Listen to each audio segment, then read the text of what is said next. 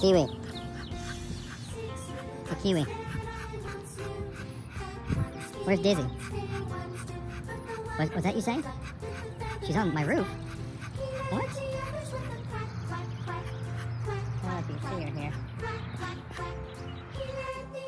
So Kiwi, I pulled up this morning, and I think I found the culprit of the eggs from heaven.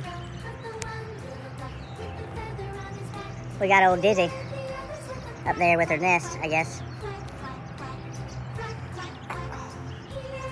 Whatever, man. So, it was yesterday. I had went out to let the dogs out, and I'm gonna show you the egg I found on the back porch. And I'm like, hmm. Looking around.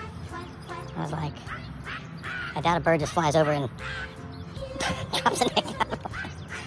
what was that?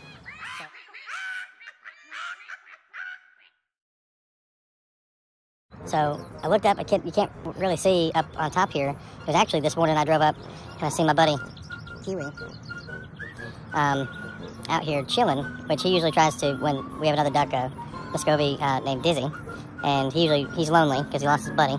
So Dizzy's actually his mom.